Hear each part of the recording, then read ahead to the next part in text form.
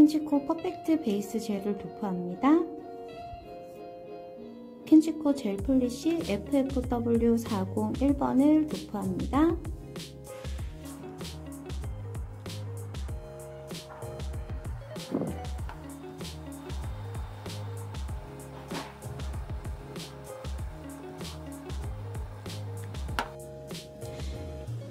dark brown liner를 만들기 위해 FFW405번 painting 젤 black 컬러를 팔레트에 덜어줍니다.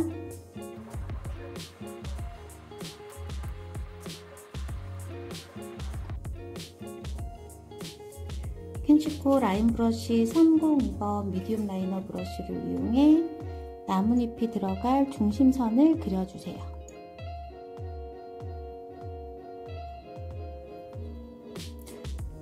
한쪽 큐티클에서부터 손톱 가운데를 향해서 부드러운 곡선으로 중심 라인을 잡아주시고요. 반대쪽 큐티클 라인 아래쪽에서부터 짧은 곡선을 그려주세요. free edge zone에서부터 손톱 가운데를 향해서 곡선을 그려, 그려준 후 curing을 해주세요.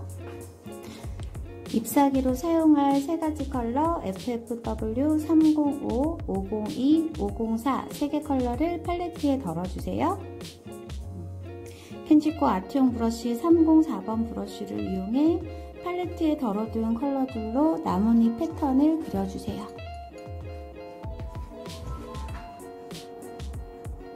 브러쉬를 세운 상태에서 가운데 부분을 눌렀다가 다시 브러쉬를 세워주는 힘으로 자연스러운 나뭇잎을 표현해 줍니다. 중심 나뭇잎을 기준으로 해서 45도 정도의 각도를 잃은 나뭇잎을 일정한 간격으로 그려주세요.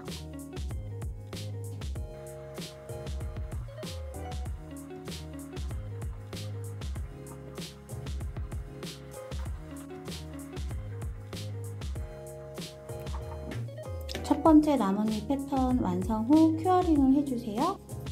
FFW502번 컬러를 이용해서 반대쪽에도 잎사귀 패턴을 그려주세요.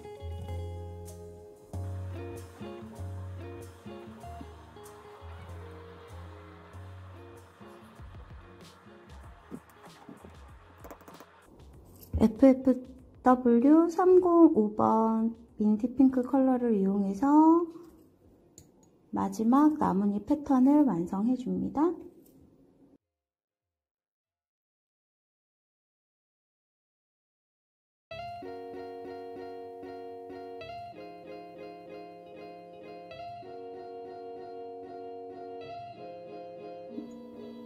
미리 만들어둔 dark brown 라인 컬러를 이용해서 나뭇잎에 테두리를 그려줍니다. 테두리 라인을 그릴 때에는 나뭇잎이 끝나는 부분에서 브러쉬 힘을 빼고 최대한 자연스러운 라인을 연출해주세요.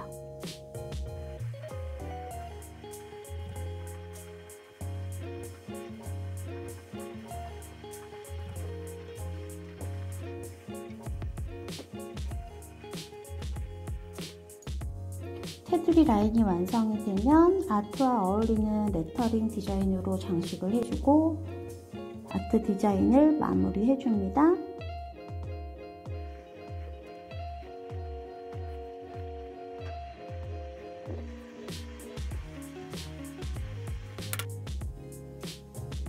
무광 마무리를 위하여 켄지코 매트탑으로 마무리하도록 하겠습니다.